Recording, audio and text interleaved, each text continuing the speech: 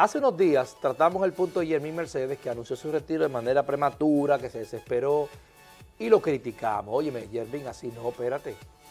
Porque pones de relajo a una prensa, a un país, a tus fanáticos y todo. Pero, tras ese comentario, y después el otro que decía que volvía, ya Jermín tiene dos honrones en la Liga Menor. Después que se retiró y volvió, ha conectado dos honrones. Jermín está bateando 326. Jermín está bateando bien en los juegos de AAA y en cualquier momento lo suben porque llamó mucho la atención. ¿Qué sucede? Aparece Osi Guillén, el venezolano, que es o fue dirigente de Chicago. Fue el campeón con Chicago.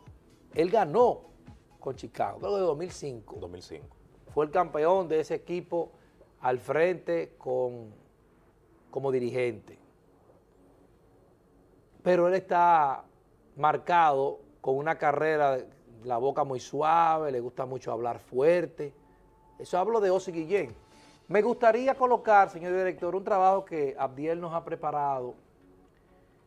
Eh, Abdiel envió temprano este asunto para que Carlos nos hiciera el favor, señores, de las, las opiniones escritas, porque él lo dijo en inglés y se tradujo. Miren esta vaina. Miren, miren lo que dice ahí. Qué difícil. Fiel a tu estilo polémico, fiel a su estilo polémico, mira lo que dice Osi. Le dice, ¿y quién eres tú? Refiriéndose a Jermín Mercedes. Tú no eres nadie, tú no eres Otani, tú no eres José Abreu. Tampoco tú eres Tim Anderson, tú eres un niño gordo, come hamburguesas, oye bien. Qué fuerte. Solamente tuviste suerte que algunas lesiones te permitieron subir a grandes ligas y tuviste un buen comienzo. Nunca escuché a Frank Thomas hablar así. Tú eres ningún prospecto. Yo mismo te defendí durante dos meses, pero cuando te entrevisté sentí pena por ti. Tengo muy buenos amigos de República Dominicana y nadie habla bien de ti.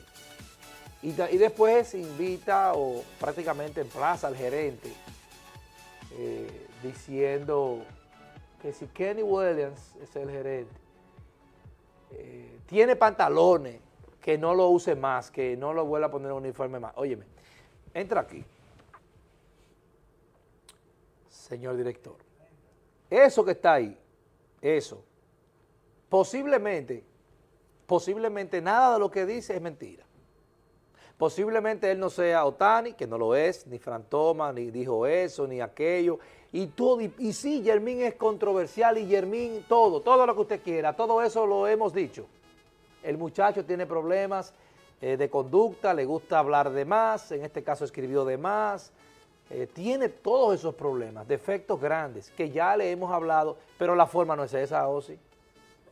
No es la manera de llamar la atención a un joven de 28 años que está contrariado, porque estamos diciendo claramente que él tiene problemas. Entonces, ¿cómo tú le entras de esa forma a ese muchacho? En vez de ayudarlo, en vez de llamarle la atención de otra forma. Si tú quieres que él sienta un poco de presión con todo lo que está haciendo y una persona como tú, que realmente debemos respetarte porque eres mayor y fuiste dirigente de Grandes Ligas y ganaste un campeonato, pero vas perdiendo mucho camino en ese sentido porque es que tú hablas demasiado feo. Todo lo que le dice a Yermín, de la forma que se lo dice, no era la manera correcta. Aunque todo lo que diga tenga un porcentaje muy alto de, ser cierto. No estoy diciendo en ningún momento que hay que defender a Yermín.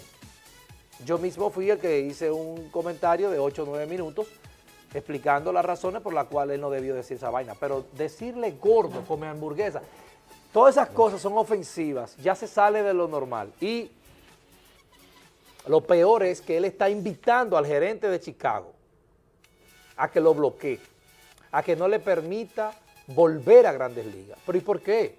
Si su actuación en AAA es buena si su actuación en Grandes Ligas, a pesar de lo mal que estuvo en el último mes, fue buena. Batió para 271, 36 remolcadas. Él está bien. Él se desconectó por alguna razón y debería volver a recibir una oportunidad. Tú no puedes decirle a nadie que no le den chance a ese muchacho. Yo pienso, Ricky, que para no extenderme mucho, Osi Guillén no ha dejado su forma, porque si aquí tenemos un tipo complicado, no es Yermín nada más, es este, es Osi. Osi siempre que aparece, o en la mayoría de los casos, es con problemas. Y te voy a decir otra cosa, ¿dónde debería Osi ya en ese tipo de asuntos a mí me gusta meterme mucho, porque es familiar, no es profesional, y a mí me gusta hablar del, del exponente deportivo de su profesión, no de sus eh, asuntos personales. Pero en Colombia, en Colombia, el hijo de Osi dirige a los Vaqueros de Montería, que de hecho fue campeón y fueron a hacer el Caribe en Puerto Rico. El año pasado se quedaron fuera. Él dirige ese equipo. Acaba de ser anunciado que no podrá dirigir la temporada próxima porque está suspendido por un año entero el hijo de Osi.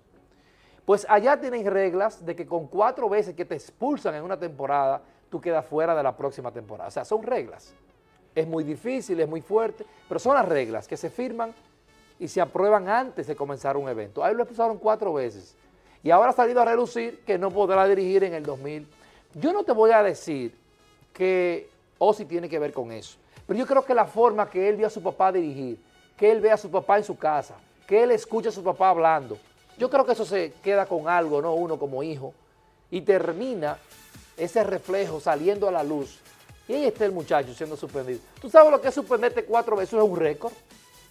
Que a un manager lo voten cuatro veces de un juego de pelota en una temporada que se jugaron 30, 25 juegos. Eso es demasiado. Lo votaban cada cinco días. Entonces, polémico, polémico. eso es demasiado. Entonces, termino diciendo, creo que le fuiste muy fuerte. Todos los que hablan de esa forma de Yermín tienen que tratar de ubicar la manera, la forma de hablarle de referirse a él. No se puede. Él es un ser humano con problemas. Y lejos de maltratarlo más de lo que ya el fanático, incluso dominicano, lo maltrata. Verbalmente, psicológicamente. Aunque se lo busque sí o no, yo creo que deberíamos ayudarlo. Tratar de hacer un aporte desde la, desde la forma que nosotros podamos. Es verdad que estamos hartos Jeremy Mercedes de toda su vaina, pero no tenemos derecho de, de decirle a nadie que no le dé trabajo. Eso es algo eso es, eso es, eso es casi vandálico ya. Y menospreciando Junior también el talento, porque él mencionaba que Jermín tuvo suerte en llegar a las grandes ligas. O sea, está prácticamente diciéndole que el tipo no tiene talento. Que bueno, él simplemente esperó, una coincidencia. Él esperó 10 años para, jugar a grandes ligas. Todo eso se lo compro. Bueno, no pudo llegar de una vez, tuvo que esperar 10 años y que se lesionara varias gente, que comenzara lesionado el hoy, que un puesto más, o sea, mucha gente, pero todo eso se lo compro. Lo que no le compro es cuando invita al gerente a que si tiene pantalones no lo ponga más a jugar. Esa vaina no se puede. Y le dijo gordo, come hamburguesa. No ofensa. Lo está ofendiendo. Ya se está... Pero si Jeremy Mercedes se encuentra con ese señor por ahí, se atreve a darle un golpe y entonces ya eso puede salirse de control. ¿Tú no lo crees? No, ya se está yendo a lo personal. Bueno, ahí estamos a seguir.